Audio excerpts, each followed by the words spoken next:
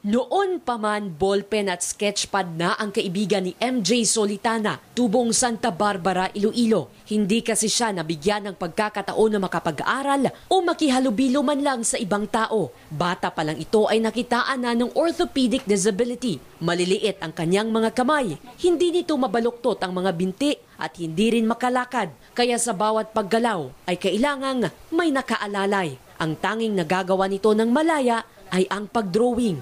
Dila ko ginaano, dila ko gina. Ayon kay MJ, binubuhos niya sa mga drawings ang kanyang kalungkutan at problema. Sabi niya, natutunan lamang niya ang art lesson sa bahay. Nakakagawa siya ng iba't ibang teknik sa kanyang mga artwork gamit ang mga ballpen.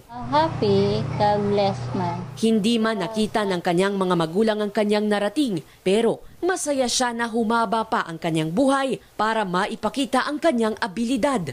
Blessed kid kami sa iya.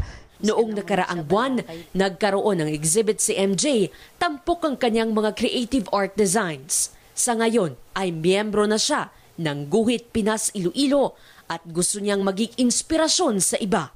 Bea Zaragoza, ABS-CBN News, Iloilo.